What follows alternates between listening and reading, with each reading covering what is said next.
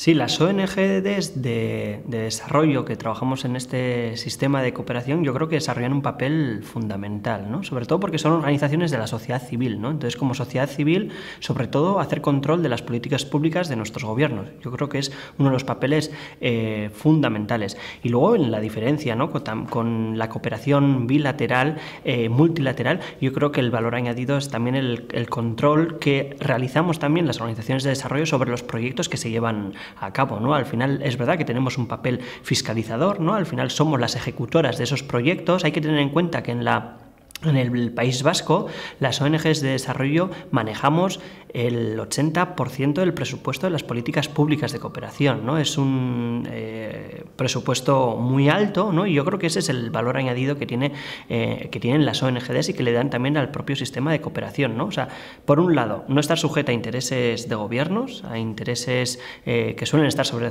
sobre todo relacionados con intereses económicos y también geopolíticos, y después la cercanía con la sociedad civil a la que se acompaña con los proyectos de cooperación al desarrollo. ¿no? Somos conocedoras, las ONGs vascas de los contextos donde trabajamos, de, las personas que, acompañamos, ¿no? Somos también conocedoras de esas eh, diferencias también de género que, eh, que, existen en el sistema patriarcal en, el que, en el que vivimos y eso le da ese valor añadido a las ONGs de desarrollo.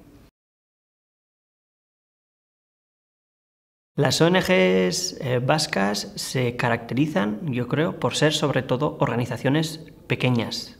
¿no? Se ha apostado eh, no tanto por ONGs eh, grandes, ¿no? sino por organizaciones que vienen a ser al final la expresión de la solidaridad de la ciudadanía. ¿no? Ya desde 1987 se vienen desarrollando diferentes iniciativas de solidaridad internacionalista que al final se vienen a, aglutinarse ¿no? alrededor de las ONGs de desarrollo que conocemos hoy en el País Vasco. ¿no? Yo creo que esa es una de las características fundamentales, ¿no? organizaciones pequeñas ¿no? que no manejan presupuestos tampoco muy grandes y que bueno, pues hay una voluntad, ¿no? una militancia muy importante de todas esas personas históricas además en la solidaridad internacional. Por mencionar algunas características que pueden ser diferentes al del resto de instituciones, yo mencionaría o sea, las capacidades que ha generado también las propias políticas de cooperación al desarrollo de las instituciones vascas en las ONGDs. ¿no? Es decir, la seña de identidad de esta cooperación yo creo que sobre todo es el trabajo de empoderamiento de mujeres. Yo creo que es una de las señas de identidad de la cooperación vasca. Y después también el acompañamiento o fortalecimiento de procesos eh, de la sociedad civil en los países donde, donde trabajamos, ¿no? sobre todo en América Latina. Es decir, superando lo que quizá eh, podríamos llamar cooperación tradicional, ¿no? que puede ser infraestructuras o necesidades básicas como la salud, la, educación. ¿no? Yo creo que se trasciende eso ¿no? y el acompañamiento y fortalecimiento de la sociedad civil yo creo que es una de las señas de identidad, ¿no? defender los derechos humanos, pero entendidos de una manera amplia. ¿no? Y luego, además de eso, el trabajo en red. Yo creo que es una de las señas de identidad también. Se impulsa mucho desde las instituciones eh, vascas y también las propias ONGDs el trabajo en red, ¿no? incluso eh, superando lo propiamente escrito en, en los proyectos que presentamos. ¿no? Es decir, hay una voluntad política muy fuerte de las ONGs de trabajar en red en diferentes redes, ¿no? Yo creo que eso es un, valor añadido, trabajar tanto aquí como allí en el, en el sur. Yo creo que es un papel eh, fundamental también el que cumple la coordinadora de ONGs. ¿no? Yo creo que las eh, políticas públicas no se hubiesen desarrollado como las conocemos hoy sin el papel de la coordinadora. La coordinadora se creó en 1988.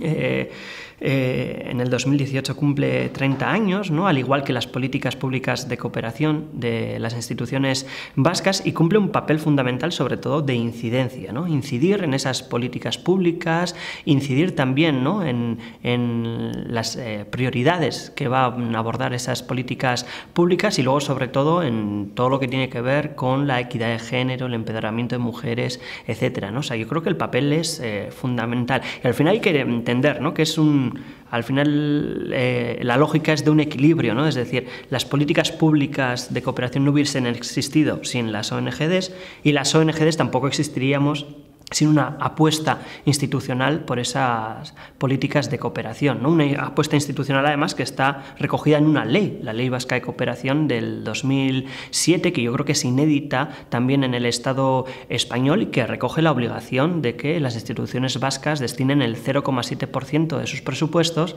a las políticas públicas de cooperación. En cuanto a si tenemos o no todos los recursos eh, necesarios para hacer esta, una cooperación de calidad, yo creo que ese es uno de los retos que tenemos por delante las ONGs eh, de desarrollo. ¿no?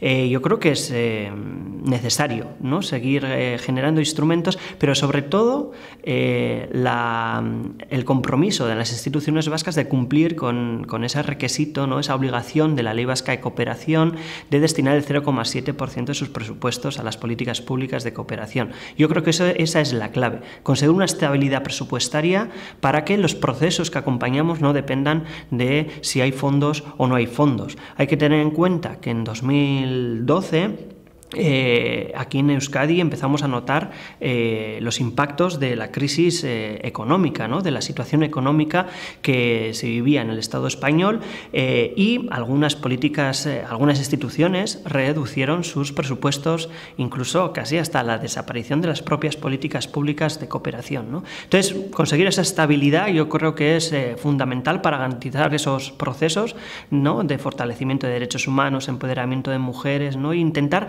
nosotras, las ONGs, también visibilizar eh, con rostros, ¿no? es decir, ponerle rostro a la cooperación vasca, es decir, no solo eh, aparecer en los medios de comunicación eh, pidiendo dinero, ¿no? O, exigiendo a las instituciones que cumplan ese compromiso, sino ponerle rostro también a la cooperación, ¿no? porque son muchas personas en el mundo las que se han visto beneficiadas de estos proyectos, ¿no? y no solo en el mundo, sino también aquí en Euskadi con los proyectos de educación para la transformación social, ¿no? que aquí también se hace y hacemos mucha, mucha incidencia. Y luego los retos, pues eh, son muchos, ¿no? o sea, has mencionado, hemos mencionado los instrumentos y el presupuesto, pero luego también está cómo nos adaptamos al contexto eh, en el siglo XXI, que no es el mismo que en 1988 cuando se crea la coordinadora. Yo creo que eso es también muy importante, ¿no? Cómo respondemos, cómo nos acercamos a la ciudadanía, qué lenguaje utilizamos, qué uso hacemos también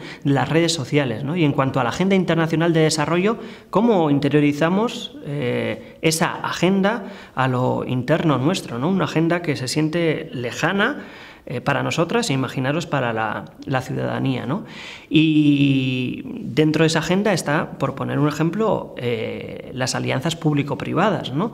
que ponen en riesgo también la cooperación descentralizada y las políticas públicas de cooperación, ¿no? que es la irrupción de empresas privadas en las políticas de cooperación al desarrollo. Y eso es un riesgo, ¿no? porque el ámbito empresarial su objetivo no es el desarrollo humano, sino eh, la acumulación de, capital, ¿no? como y todos conocemos. Entonces eso es un riesgo para eh, el desarrollo humano de muchísimas personas en este planeta.